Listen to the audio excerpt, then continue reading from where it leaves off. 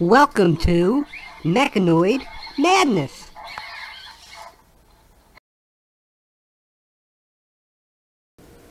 Hi! On this example, I will show all of the features that are built into the new app. Um, what I am is I'm connected on Bluetooth already. I'm going to start it up, the program,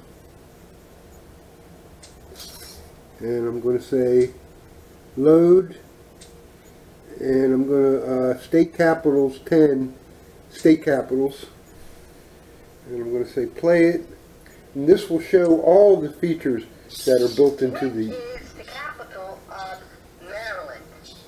Press the blue button for Albany. Press the red button for Annapolis, or press the green button for Richmond. This is just like the first example that I showed you, except it's not using LIMs now. It's using the ragdoll mode, or the what they call the animation builder. Um, what I'm going to do is select the wrong answer. I'll select Richmond. It will say the word.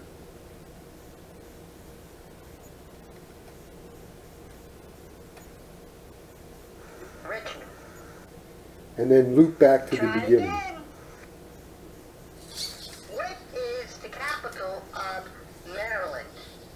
So this Press is the blue button for Albany. Press the red button for Annapolis, or press the green button for Richmond. this is just like the uh, example that I showed before, except it's not using LIMs this time. I'm going to select the correct answer. Annapolis.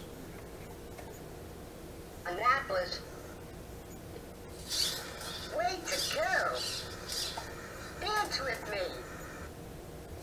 Now I'm using the the app foot motors to do this. This is slow mode.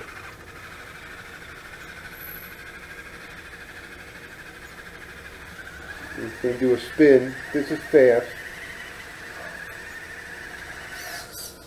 What is the capital of New York? Press the left arm for Albany. Press the right arm for Annapolis. Albany.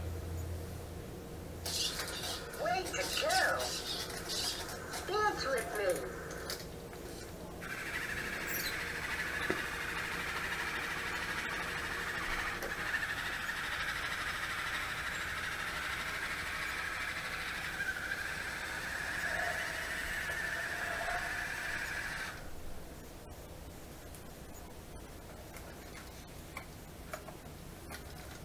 Now it's doing a light show.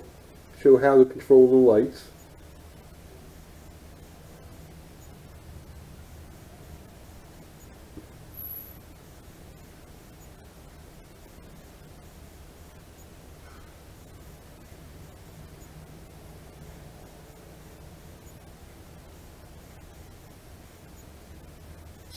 Would you like to wake up at 7 or 7.30 a.m.? Press the down arrow for 7 a.m. or press the up arrow for 7.30 a.m. Now what it has is that you can put uh, buttons on the uh, tablet or phone screen. What I showed here is just a basic example of putting two buttons on the screen, up arrow and down arrow. I'll select up arrow Okay, I will wake you up at 7.30 a.m.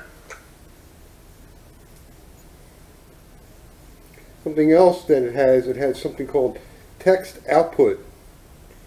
And uh, any point of the program you can put text to the screen. Like here I have just a simple message that says, I will wake you up at 7.30 a.m. If I press that, it will bring up the timer, and the timer is waiting for 7.30 a.m. And if I say skip, it will skip that, and then it will do the next step.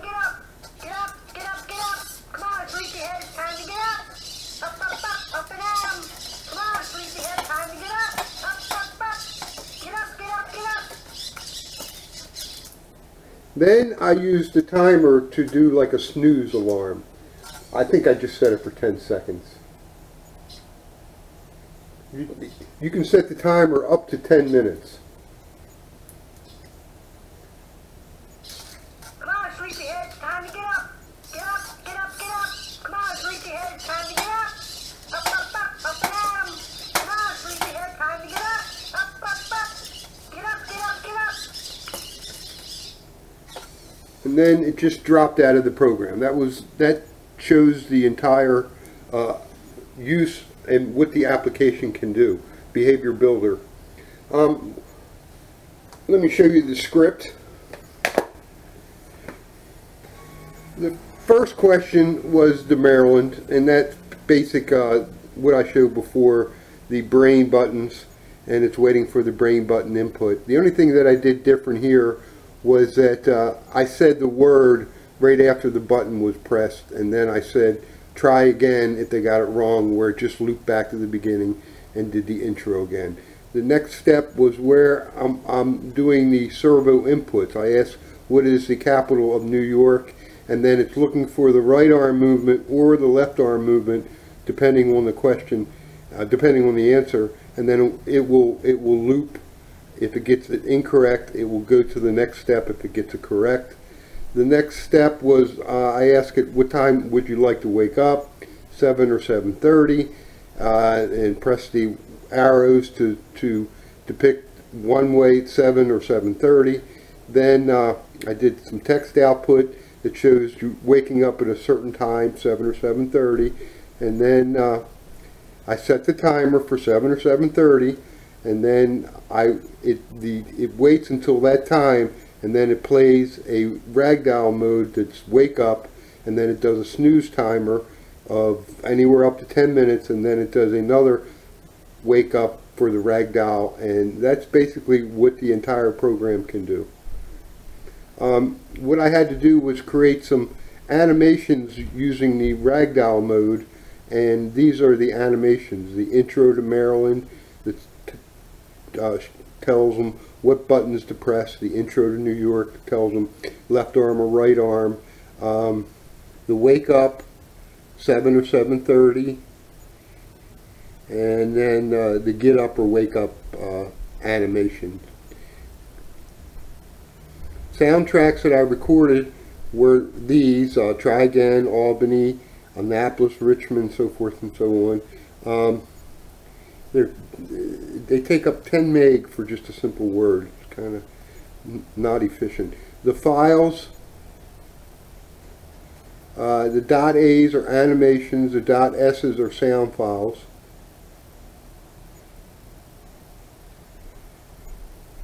And that's basically the entire program.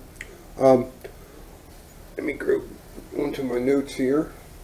What I did is I uh, took those files out of the uh, tablet and put them into Dropbox so that if you would like you can download them from Dropbox and uh, you can run this particular program on your phone or tablet.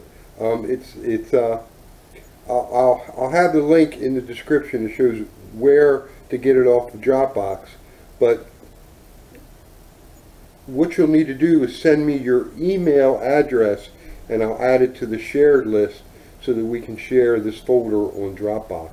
The real question is, um, what is better, LIMs or the animations? The LIM, the sound comes out of the Meccabrain, which is great.